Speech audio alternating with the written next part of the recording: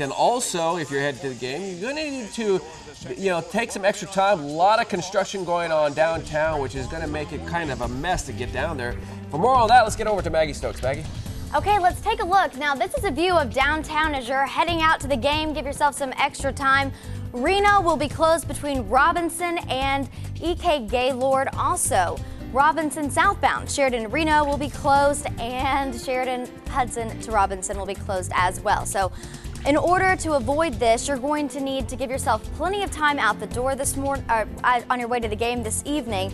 Now, North Robinson from Robert S. Kerr to Northwest 6th Street. That has been closed constru for construction. That's going to be reopened to allow easier flow for game day traffic, but expect delays as you're heading out. That's your traffic watch for game day. I'm Maggie Stokes.